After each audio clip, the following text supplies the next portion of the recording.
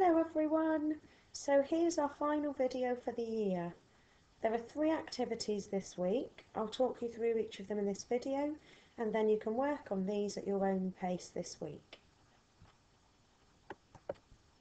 To start with, what would you like your class to be like next year?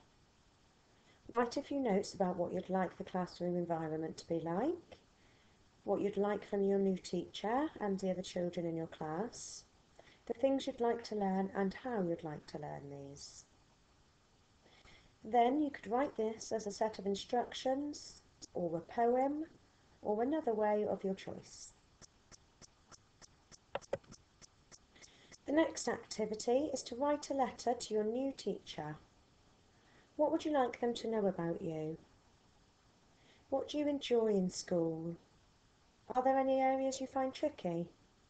And how could they support you in this if so?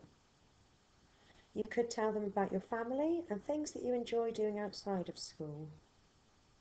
If you email your letter through to the Year 5-6 account, we can make sure that these get to the correct person. It'll be a great way for them to get to know you a bit before September.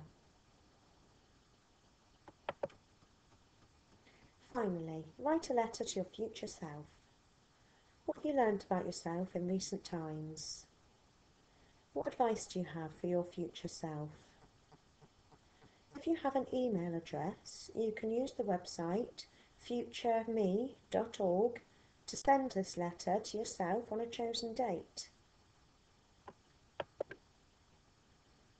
It's been an unusual way of working this last term or so, but we've been so impressed by all of your efforts shown, and we're really proud of you because we know this hasn't been easy. We hope you will have an absolutely fantastic summer holiday, and we'd like to use this opportunity to wish our Year Sixes the best in their exciting new adventure starting secondary school. And we look forward to welcoming back our Year Fives for their final year of primary school next term. Stay safe. Speak soon.